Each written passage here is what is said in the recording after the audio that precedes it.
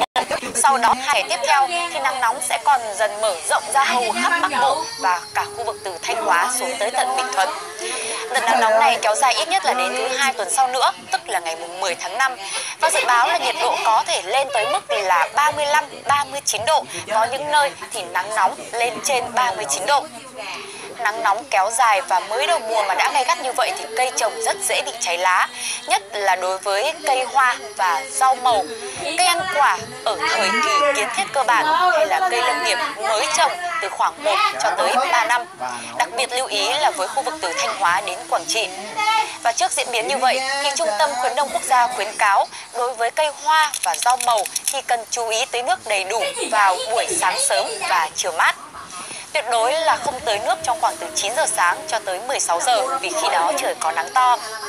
Đối với cây ăn quả và cây lâm nghiệp mới trồng thì thực hiện ủ gốc cho cây bằng rơm dạ và cỏ khô. Tưới nước cho cây đầy đủ như là đối với rau màu.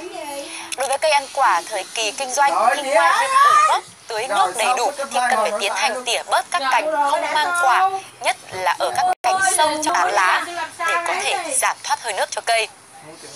Tiếp theo sẽ là phần dự báo cho các vùng chuyên canh nông nghiệp khác trên cả nước. Không chỉ có miền Bắc, miền Trung mà ở khu vực Đông Nam Bộ trong 6 ngày tới cũng sẽ có nắng nóng. Còn tại khu vực Tây Nguyên thì lưu ý với bà con là trong một tuần tới, ban ngày trời sẽ có nắng nhiều và về chiều tối sẽ chuyển mưa rông, dễ đi kèm với nguy cơ mưa đá, gió giật hay là sấm sét nguy hiểm. Những bà con có